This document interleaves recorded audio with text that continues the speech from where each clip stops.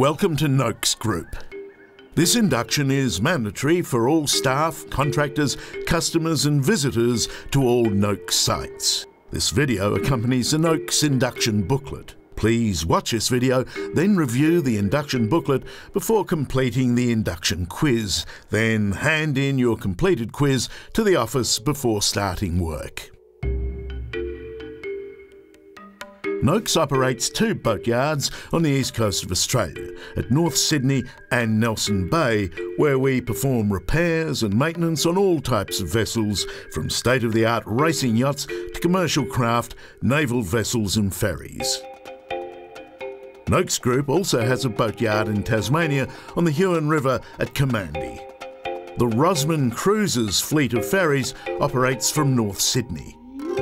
Our operational hours are 7am to 6pm Monday to Friday and 7am to 4pm on Saturdays. Our yards are closed on Sundays and on public holidays. The relevant workplace locations are outlined in the induction booklet. On-site parking is reserved for customers which includes contractors, DIY and Commonwealth staff. If you will be working at our main site in North Sydney and intend to use public transport, the nearest train stations are either North Sydney or Waverton. Our other sites have staff parking adjacent to the boatyard. All contractors, customers and visitors are required to sign in at the administration office prior to entering any of our yards. All employees and contractors must have obtained their government issued white card before commencing work on any of our sites. On the successful completion of this safety induction, you will be issued with a Noakes induction card, which must be retained and carried with you on site at all times. Noakes staff will be provided with mandatory high visibility work shirts. They are to be worn at all times in the yard. You will need to provide your own pants, sun hat, enclosed shoes and wet weather gear. Additional personal protective equipment, PPE, will be supplied as required. Contractors, customers and visitors must wear high visibility work shirts or vests and closed footwear. Shoes may be removed only while on the deck of a vessel or in the cabin. Depending on your role, and particularly if you're a tradesperson, you'll be required to supply your own hand tools. All power tools and cables brought onto our sites must have valid test and tag labels. Each site has toilet and shower facilities. At the North Sydney site, public toilets and showers are situated at the rear of the office building. If you wish to shower, please provide your own towel and toiletries. Each member of staff will be provided with a locker where you can store your personal items. Please don't bring valuables to the workplace. Each site has a lunchroom containing a fridge, kettle, coffee and tea. Please bring your own cup. The induction booklet details Noakes' policies. Please take time to read these. Here are some of the key points. Health and safety. All employees, contractors and customers are expected to follow safe work practices, observe company safety rules and report hazards, incidents or near misses by completing a hazard or injury report. Completed reports must be submitted to management. We consult with our employees through regular toolbox talks and provide appropriate training and supervision to ensure work is conducted in a safe manner. The environment. Given our close proximity to surrounding waterways, we're committed to minimising our impact on the environment, including noise. We have work practices in place to ensure there is no runoff to the ocean. Please be aware that 1. Sanding, scraping, and application of paint directly over the water is not permitted at any time. 2. No materials or water must spill over the edge of the hard stand. 3. When working on the slipway, underwater hull work must always be carried out above the tide line, and if the tide line is above the catchment drain, suitable bunding must be put in place. 4. The catchment drain must be pumped out before the tide line crosses the drain. 5. Spill kits are located around the yard and are to be used in the event of a spill. Quality control. Noakes has a reputation for providing quality work in rigging, painting, shipwright and yard services. We consistently strive to exceed our customers' expectations. All work must be conducted ensuring the appropriate job safety and environment analysis JSEA is understood and signed off prior to work commencement. All work is to be inspected by the appropriate manager before the boat is handed back to the customer. If you're ever unsure of the correct way to do something, please check with your supervisor. Noakes has a zero tolerance policy for sexual harassment, discrimination, and bullying.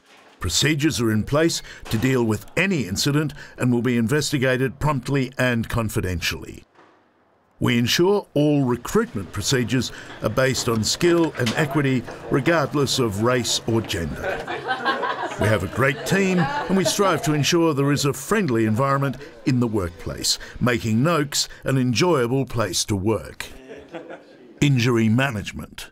We are committed to preventing injury in the workplace. However, in the event that a worker, customer, or contractor is injured on site, management must be notified immediately, even if treatment is not required. An incident report form available from the office must be completed. If a worker requires medical treatment, we work with the company's medical consultant to develop a return to work program. This ensures that any injured employee can return to work as soon as possible, either in their usual role or at suitable alternate duties until they're fit to return to their normal role. Drugs and alcohol are prohibited on site. Due to the potential safety risks, employees have a responsibility to ensure they are not impaired by drugs or alcohol at work. A breach of this policy will lead to disciplinary action, which may include dismissal.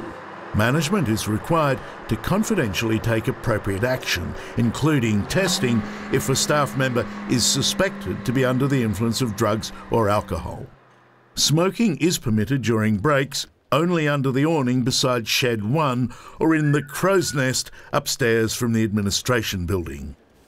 The use of headphones may impair your capacity to perform your job safely and are not permitted during work. Mobile phones are not to be carried by Noakes staff unless required to perform Noakes related tasks.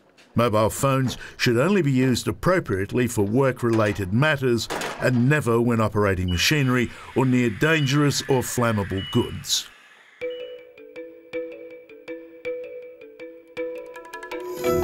Personal protective equipment needs to be worn to minimise the risk of injury. Mandatory items to be worn at all times include enclosed shoes, a Noakes high visibility shirt, and SPF 30 plus sunscreen available from the storeroom or shed 2. In addition, PPE charts display the appropriate equipment that must be worn when undertaking specific tasks listed on job cards. Noakes provides the following PPE to staff. Eye protection. Safety goggles or glasses to be worn when sanding, grinding, chipping, drilling or handling dangerous chemicals. Hand protection. Gloves to be worn when handling dangerous chemicals, operating, rotating or reciprocating machinery and when cleaning or material handling. Hearing protection earplugs or earmuffs to be worn when passing through or working in areas of high risk, such as near grinders or trimmers. Respiratory protection. Respirators are required by the nature of the work. Hard hat for crane work or is listed in the JSEA or SWMS. Contractors are required to bring and wear their own PPE. Walk only within proper walkways and avoid shortcuts through dangerous areas. Be aware of travel lift, forklift and mobile crane movements at all times. You're strongly encouraged to wash your hands before eating. All staff and contractors are responsible for maintaining a clean and safe working environment.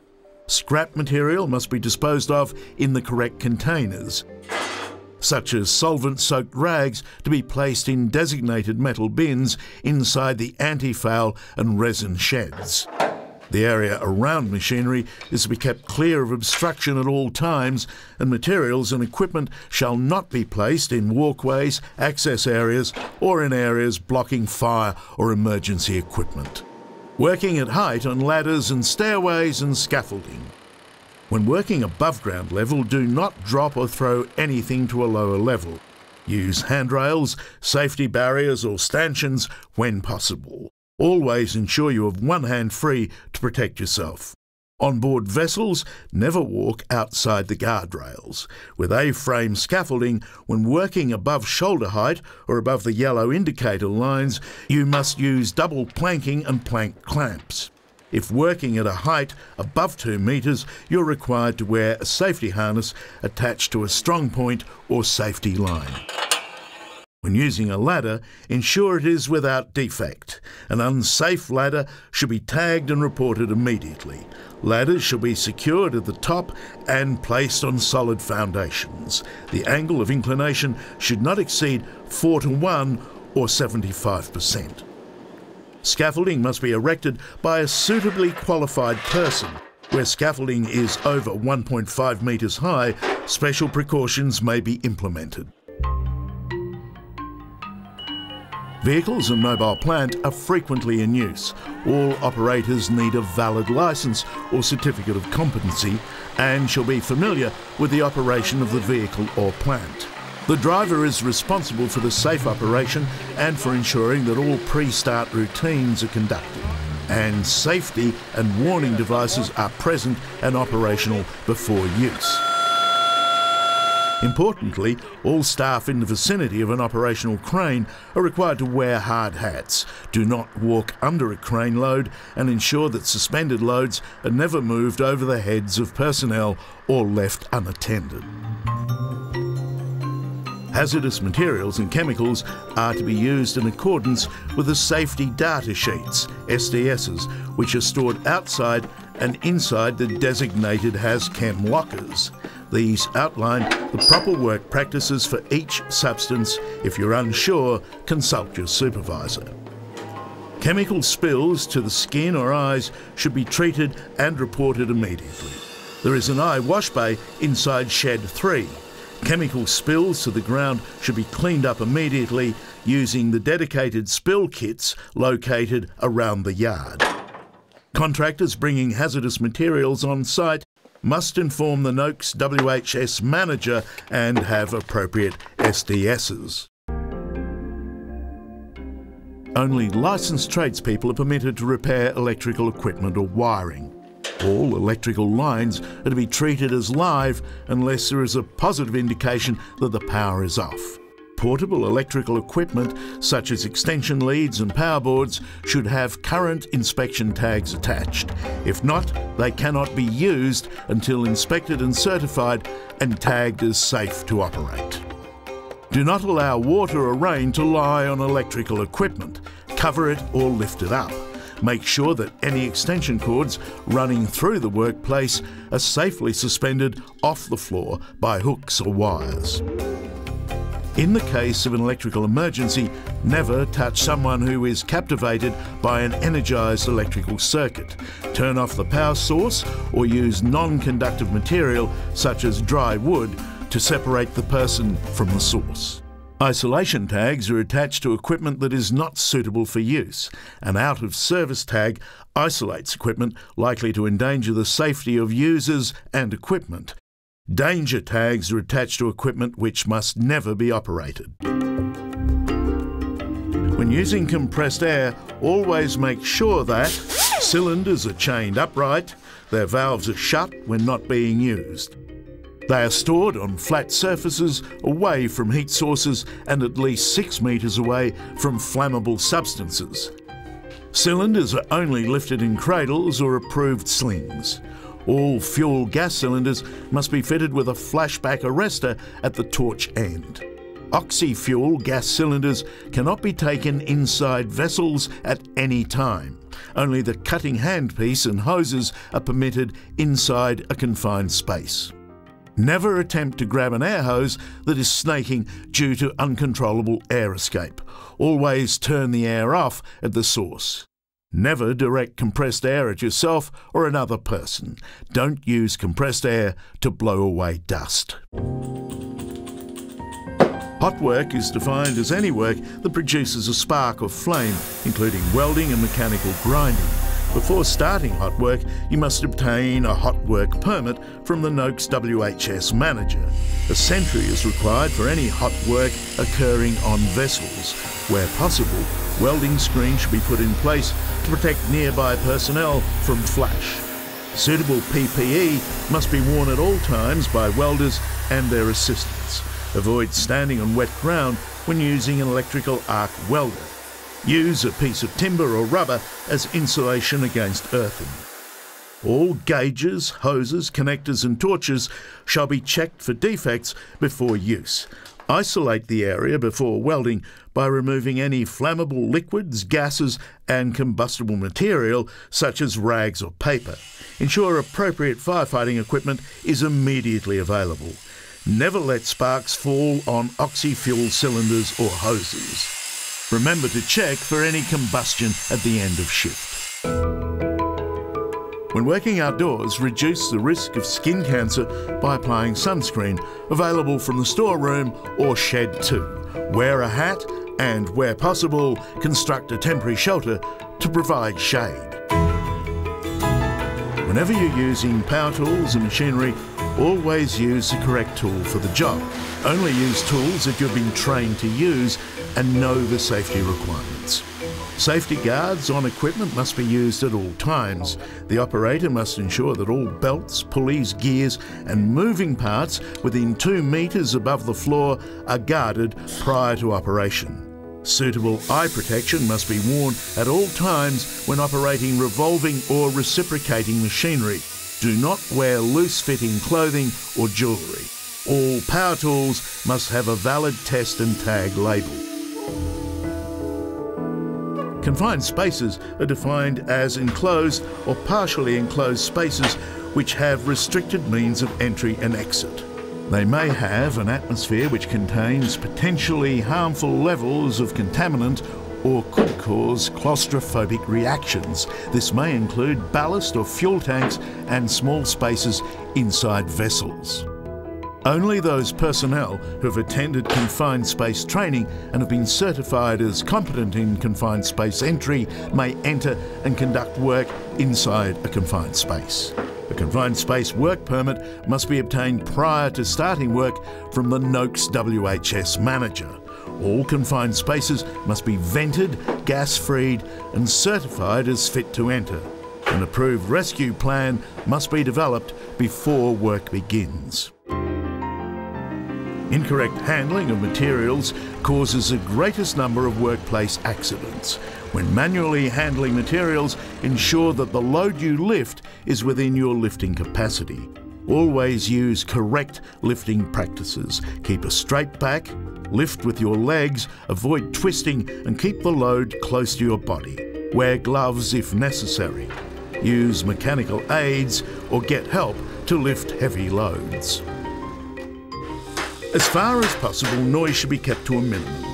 Power tools, hand tools, and machinery are permitted to be used between 7am to 6pm Monday to Friday and 7am to 4pm on Saturdays Outside those operating hours, including Sundays and public holidays, noise is prohibited. That includes machinery noise, loud radios, and excessive hammering. Damage to hearing caused by constant noise exposure is irreparable. If you have to raise your voice to be heard by someone standing 60 centimetres away, you should be wearing hearing protection. If you're working within 15 metres of chipping, grinding, hammering, abrasive blasting, you must wear hearing protection. Earplugs are available from the storeroom. Flammable materials are sometimes used in the course of daily work at Noakes. Flammable materials and liquids should only be stored in approved containers. Only the amount necessary for one day's work should be kept on board vessels or in immediate work areas. Fire hoses are located around the hard stand. There are fire extinguishers in each shed. Take the time to identify this equipment. In the event of fire, employees must never put themselves in danger. Everyone should make sure there is sufficient access to all areas should evacuation or firefighting be necessary. Whenever a fire extinguisher has been used or is found with a broken seal, it should be removed from potential use and reported to the main office. All emergencies, such as fire, dangerous spills, or injuries, must be reported to a supervisor or the main office immediately. The supervisor will determine whether the situation can be made safe or if evacuation is required. When reporting an emergency, calmly state the type of emergency, your location and name, the area or person affected, whether emergency services are required, and whether evacuation is advisable. Noakes Fire Warden will use a loud hailer to sound the alarm in case of fire. The main muster point is located in the staff car park at the northern end of the site.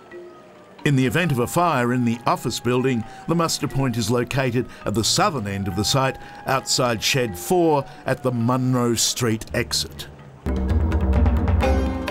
A sample job card is shown on page 28 of the induction booklet. Job cards show details of each vessel, including name, type, size, and the arrival date and time. Each line on the job card is colour coded depending on which department is responsible for the task green for yard, pink for shipwright, yellow for rigging, and blue for paint. Tasks are listed in the order which they must be completed. They're also numbered to show the corresponding personal protective equipment that is to be worn. Please have a look at the PPE chart outlined on page 29 of the induction booklet. Thank you for watching. Now please review the induction booklet and complete the induction quiz.